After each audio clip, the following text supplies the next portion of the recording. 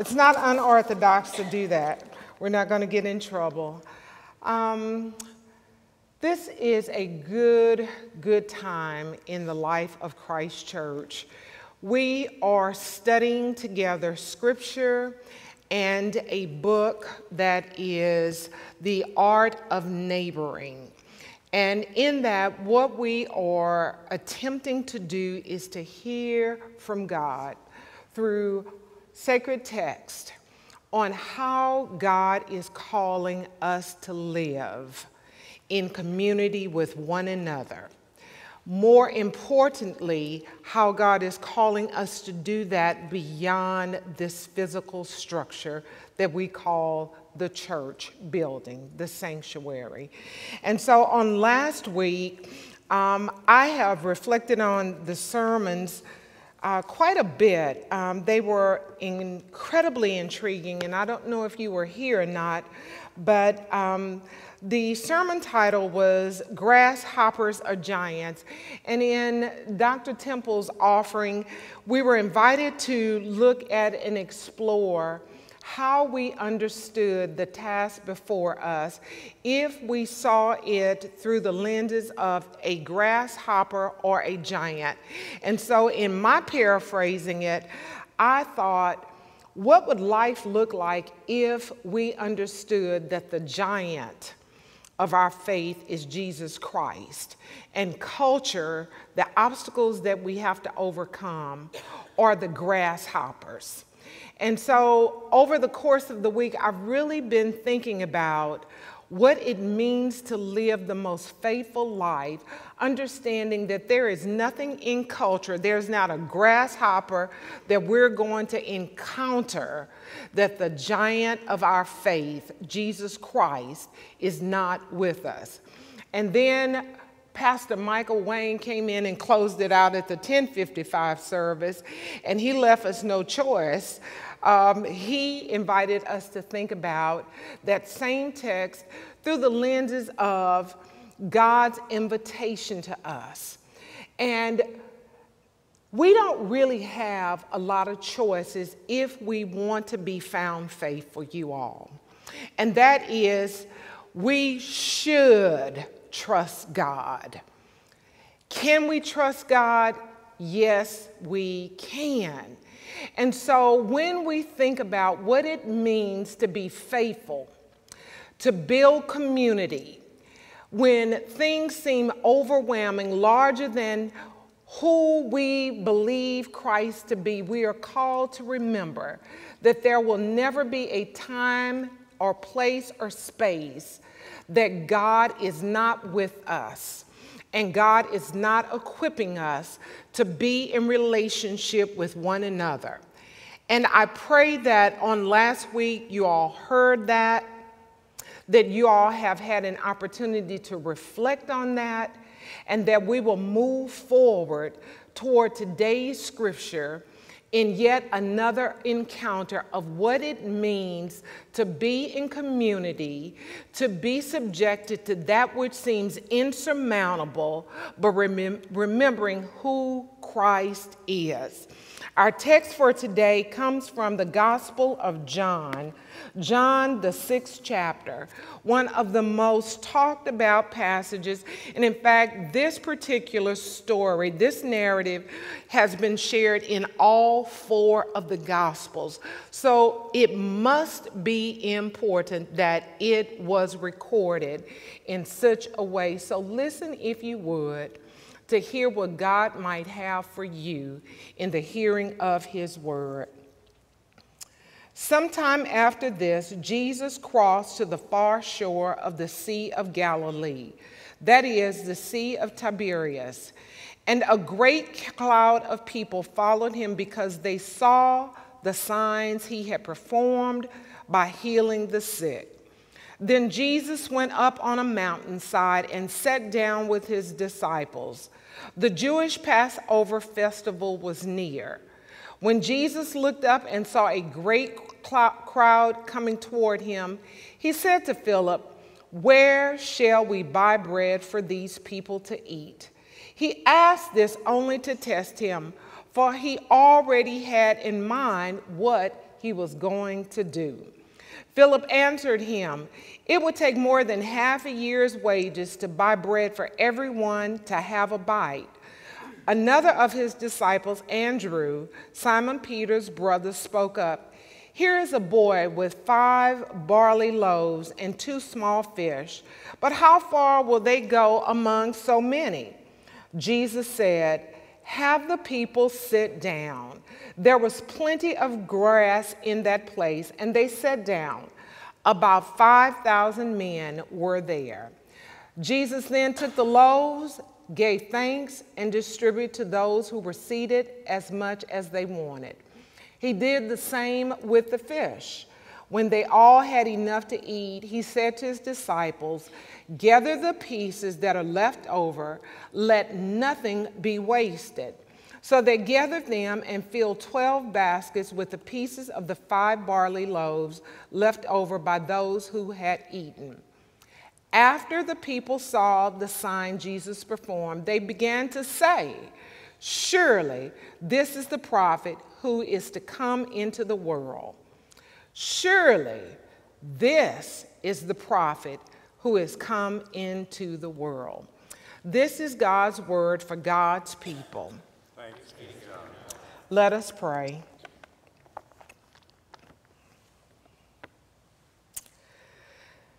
God, we are most grateful that you continue to provide. We pray that in our time together that we would draw closer to you and hear that which you would have for us to understand. And in our understanding, may we be convicted to live ever more faithful. Thank you, God. In Christ Jesus' name, we do pray. Amen. The question before Peter was, Where shall we buy bread for these people to eat? Now, I don't know about you, but if I were among 5,000 people and Chapel asked me, Michelle, I have about 5,000 people that I need to feed. And there are no stores open right now.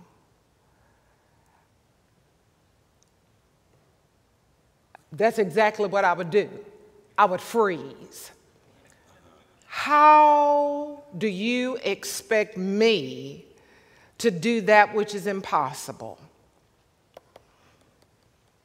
I love this text because Jesus was not asking Philip to do that which Jesus understood only he could do. Jesus was merely asking, Are you willing?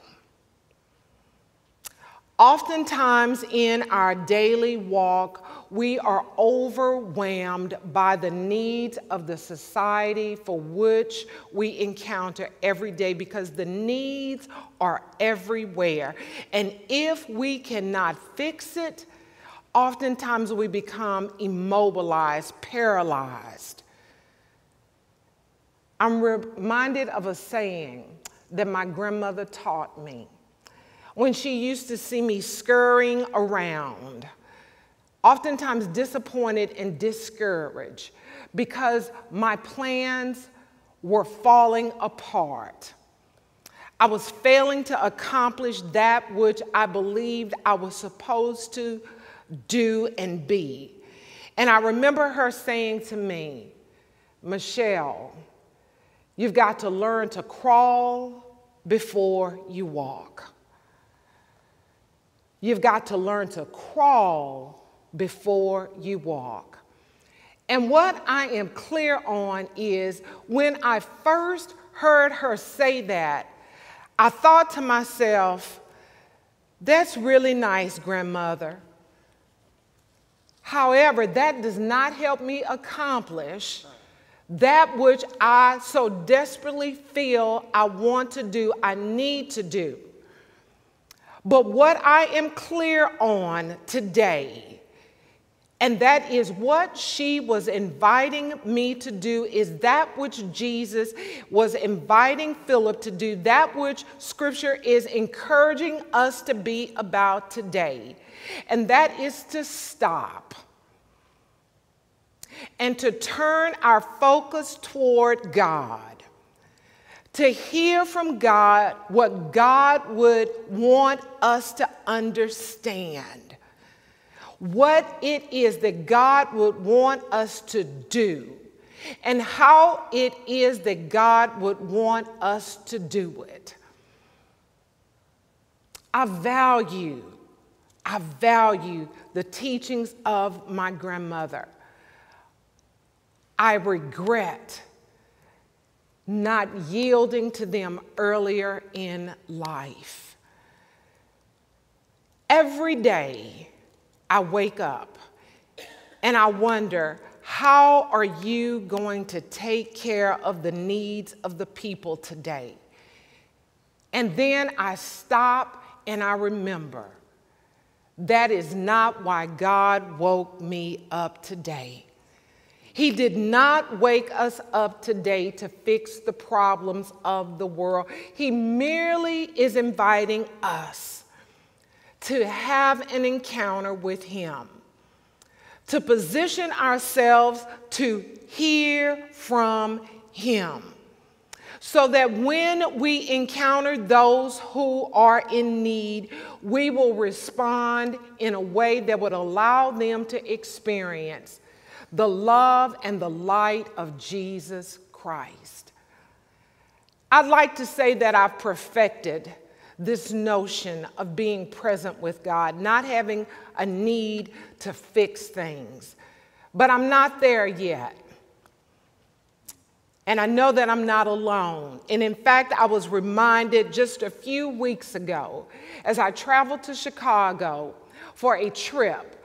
And I um, got off the plane and I had a choice as to whether I wanted to take a taxi or Uber or take the train. And I decided to take the train. And in doing so, I passed through places that reminded me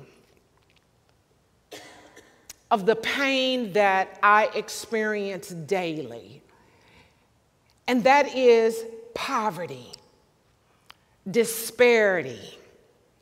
I saw projects and I saw buildings close down and I became overwhelmed. But in that moment, God gave me a sweet gift. He said, Michelle, remember, I'm not calling you to fix it. I'm merely calling you to be faithful. Church, God is merely calling us to be faithful, faithful participants in responding to the needs of those around us. And the needs are great. I love this passage because there are no surprises that Jesus is experiencing. Jesus travels to a very uh, solitude, place of solitude. In some of the translations, it talks about it as a desert, a place of isolation. Jesus got these people off by themselves.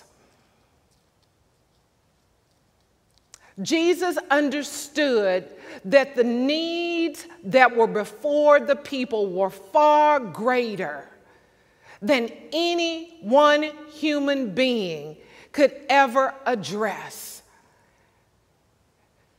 They were on their way to the Passover festival. They were on their way to keep ritual. They were on their way to celebrate this holy time in the life of their religious community. And Jesus stopped them and he positioned them and he sat among them to demonstrate to them, even in a time of disparity and in a time of desolation and in a time of isolation, I alone am the only answer. And so today, church, we are called to be neighbors.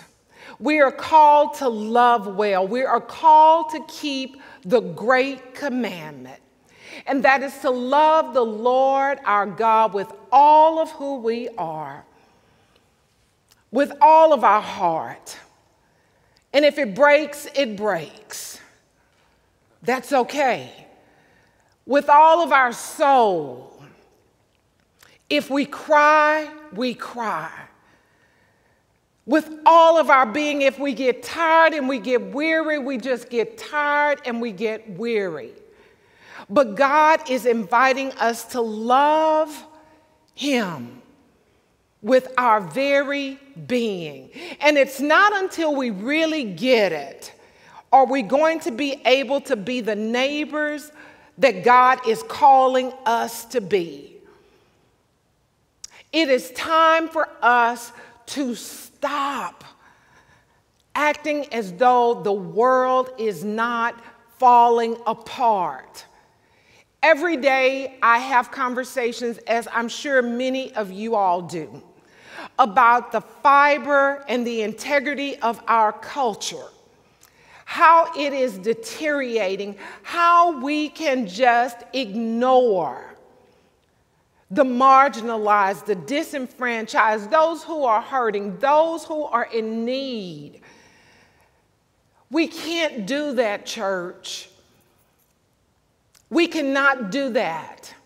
And that is one of the reasons why Christ gathered the people in the place which he gathered them. He wanted them to understand, but more importantly, he wanted the disciples to understand, and he wants us to understand today. We have got to be willing to get in the trenches, the places of isolation the places of darkness, the places of despair, the places where we cannot fix it, but we go into recognizing that He will meet us where we are. God is simply asking, Are you willing? Will you be found faithful? My grandmother was on to something when she said, Baby, you need to crawl before you walk. That is to say, you need to build a foundation. You need to get your priorities in order. Accolades come and go, accomplishments are fleeting. But that which will last is what I hope you will be about, Michelle. And that's loving well, being responsible to family and friends, caring about people even before you know their name. And everything else will come. You know, we just came out of the Olympics. And perhaps one of the most talked about stories continues to permeate in my spirit. And I think about Abbey and Nikki. Y'all remember Abbey and Nikki? Who showed up at the Olympics. Now, you know, you don't just show up at the Olympics. You go to the Olympics to get the medal, to get the gold, and to go back home. Did it. But something happened along the way. After years and years of preparation, after practices and sacrifices, something happened. And they both found themselves in a very dark, isolated place. But if you read the commentaries and if you've listened to the interviews, you recognize in that place in space where it seemed as though all was lost, they practiced what it meant to trust God, to love your neighbor as yourself. And they stopped and they cared for one another. The medal was no longer an issue, but how they loved one another, how they cared for one another was what became most important to them. What would our lives look like if we earnestly and consistently sought to care for the other, putting our own needs aside, trusting that God will provide for us far beyond what we could hope for or imagine. That's what God was sharing with the disciples. I'm not asking for you to provide food for 5,000 people. I'm God. I know you can't do that. I know that you can't heal people in the way that I can heal people, but I'm asking are you willing to sit with them? Are you willing to listen to their story? Are you willing to value them as those who have been created in my image? What are you willing to do? And why is that important? It's important because the ultimate lesson that Jesus wanted for the disciples to understand, and he wanted those 5,000 people to understand, was that what's most important, the meal certainly is important. The meal is important. My sitting down to listen to your story is important. But what is most important is that you come into a relationship that Jesus Christ is Lord and that no one can do for you what Christ alone can do. And if we understand that, that when we encounter the other, that what God is saying to us is you are merely a vessel. I am using you so that they may encounter the greater gift. And that is a relationship with me because only I can feed them in a way that lasts for all eternity.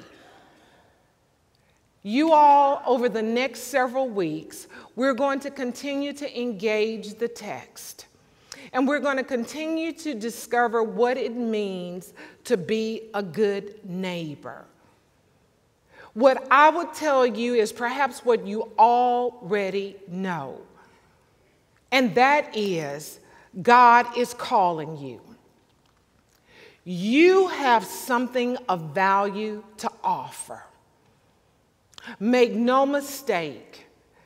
Don't think that you have to go out and fix the community. You can't solve the problems that your neighbors are experiencing, but you can be available to offer your heart, to embody what it means to be the light of Jesus Christ to go in and to begin to proselytize is not what we're asking. And in fact, it is frowned upon. There's a saying that says that people want to know how much you care before they want to know how much you know. Lend your heart, lend your hands. Be the light of Christ. Avail yourselves, and Christ will do the rest. Trust God that you too might be found faithful. Are you willing? Are you willing? I heard Dan, that's all that I heard. Are you willing to be found faithful? Yes. Amen. I will sit down. Thanks be to God.